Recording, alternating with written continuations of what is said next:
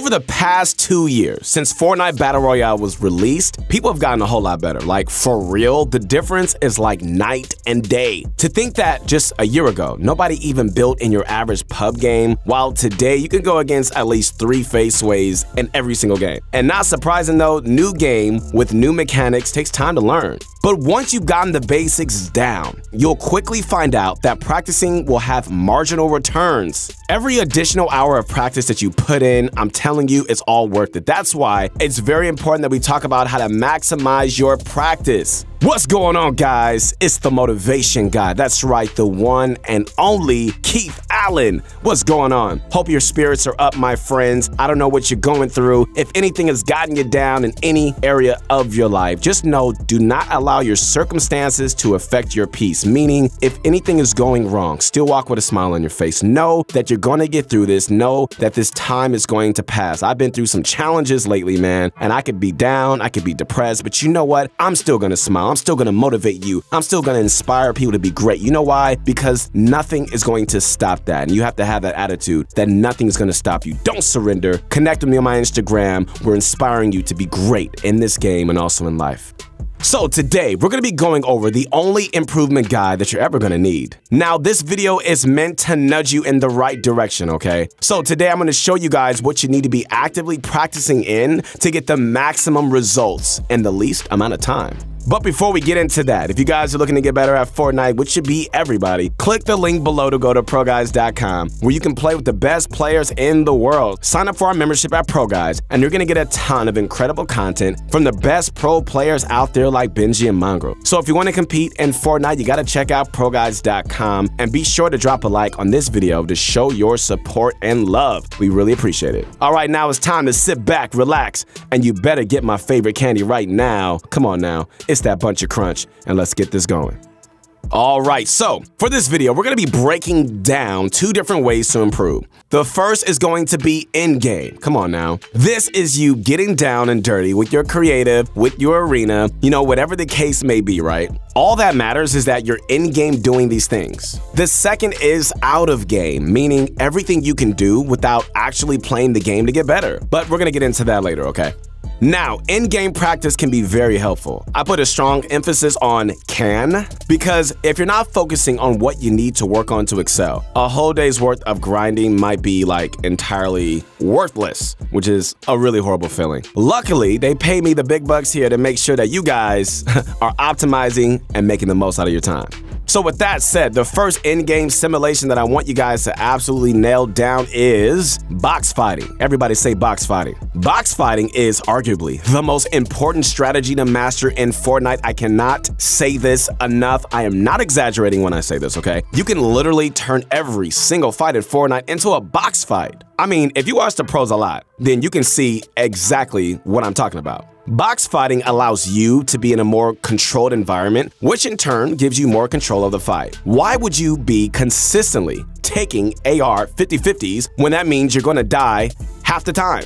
No, if that's you, then it's time to make the change. And remember what I said earlier, Fortnite is a really new game still compared to like most other competitive shooter games. Box fighting is a completely new concept. This was invented unintentionally. I don't even know if you know that. This was not done on purpose by the Fortnite developers, which means that there's always going to be new things to learn when it comes to box fighting. Like for real, man, it feels like there's a new tip or something coming out every single week. You don't get that when it comes to games like League of Legends, Call of Duty, Counter-Strike, or literally really anything else to be real. These games have been out for a very long time and most competitive edges are already intertwined with the meta. Not Fortnite though, no no no. The next mechanic that you need to have mastered is tunneling. Sure, you know, you might have had box fighting down before watching this video, and that's great. But I know there's still a lot of you guys out there that need to hear this one. And I don't mean that in a bad way. Like I said, you know, we're talking about how to maximize your practice, and that is just how to do it. And I don't know about you, but no one's perfect. I know I'm not perfect, so that means we can always improve and we can always get better at something. So we gotta stay humble and stay hungry, okay, to grind and get better. Now, tunneling comes in all shapes and all sizes. You got the regular tunnel, you got Bizzle's diagonal tunnel, you got triangular tunnel, and you got many more, okay? Now, if you want to take a look at specific tunneling strategies, then I highly advise you to take a look at some of our previous videos. Really good. There's some really good content, and we do post daily, so make sure that you hit that subscribe button, like right now. All right, so now that the shameless plug is over, you know, I gotta put that in from time to time. I really wanna make sure you guys know that this one is so important if you find yourself getting to a high level in Arena or you wanna play in any of the competitive events. And right now, there's almost daily cash cups with the weekend squad tournaments, some of which you don't even have to be in champion division to get into. When you're playing in a competitive game mode, the only way to rotate in the later zones is by using a tunnel. If you can't tunnel flawlessly, you put yourself at grave risk. And only knowing one tunnel isn't going to be good enough. Sometimes you need to go in a diagonal direction. But if you only know how to tunnel straight forward, you're going to find yourself in a little bit of a predicament, to say the least. The final general mechanic that we, okay, that we're gonna go over, are high ground retakes and maintaining it. I have like a really sneaky suspicion right now that a lot of you creative warriors out there are gonna have a problem with this one. But it's so important that I need just to air it out real quick, okay? For those that are unaware, high ground retakes means that you build in such a way that allows you to take the high ground position from your opponent that is currently on it. Before Creative Warriors start salivating here, alright, I'm gonna say that real in-game retakes aren't as fancy as you might think.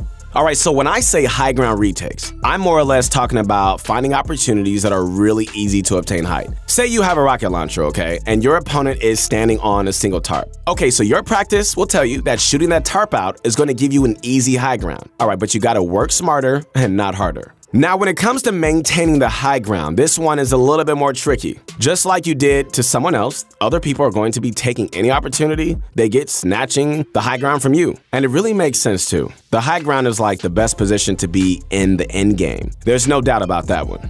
But when it comes to maintaining it, you're going to want to practice adding multiple connection points to your high ground tarp. And over time, you're going to identify places that you can connect your builds that will add more structural integrity so you won't simply get chopped down or shot out. Alright, so now that we've covered the most important things to practice in game, we gotta talk about the most important ways to practice outside of the game. I'd even say that once you're at a decent level, using external resources to elevate your gameplay is really what's gonna push you to be a next level player.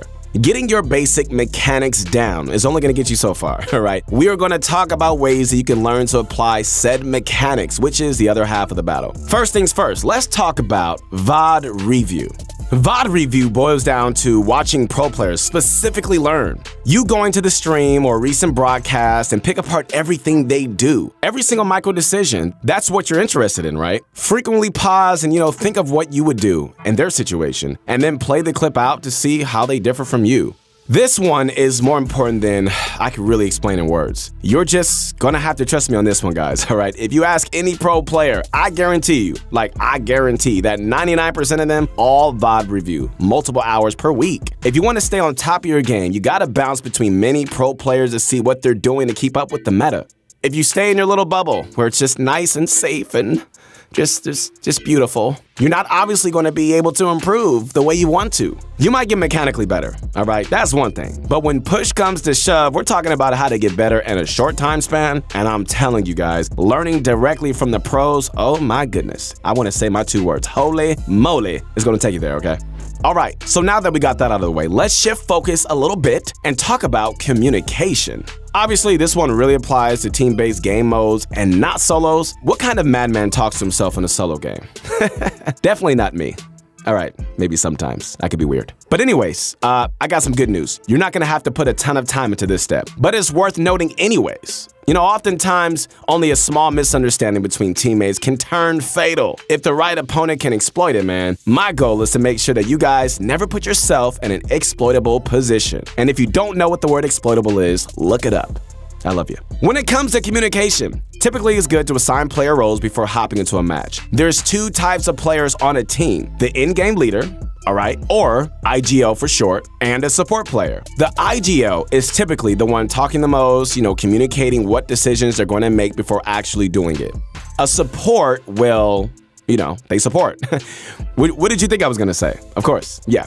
So if you find yourself in the support role, you still need to communicate with your IGL, bouncing back ideas, you know, affirming to them that their decision is what you're going to follow or anything else that allows your IGL to know that you guys are on the same page.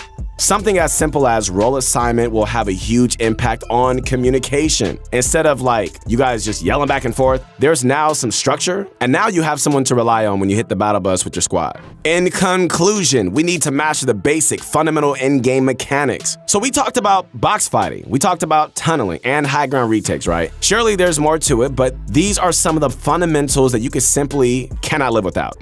but as you start to notice that only practicing in-game yields marginally declining returns, then you know it's time to start finding external resources. Using pro players' live streams to get new perspectives and building deeper communication skills with your teammates are going to give you guys an extra edge that you didn't have before. And just one more thing before we wrap things up, I just want to say that you guys need to be in the right mindset to learn. I always talk about that on my Insta. Mindset is it's everything. It really is. You know, learning is an uphill battle and sometimes you're going to get worse before you get better. And a lot of us we quit when we get worse, but you cannot quit. I hate that word quit. Just take it out of your vocabulary, take it out of your mind. Don't even say it, don't even think it. Some of you just thought it right now. I told you, don't do that, okay? It's truly a two step forward, you know, one step backward ordeal, man. It happens in life. Sometimes you feel like you're going forward and then all of a sudden you go back. I get it, it's frustrating, but you gotta keep going because the winners in this world never quit. So instead of getting mad that you aren't seeing the results quick enough, you know, you just have to have the mindset I'm doing this to get better. Remember, guys, you're doing this to get better. It is a journey. You got this, man. And we believe in you. I believe in you. The motivation guy, that's right. And I'm willing, you got to be willing to take the steps to go into the right direction. If you follow these steps, I'm more than certain that you guys are going to have no issue improving quick and scale those leaderboards.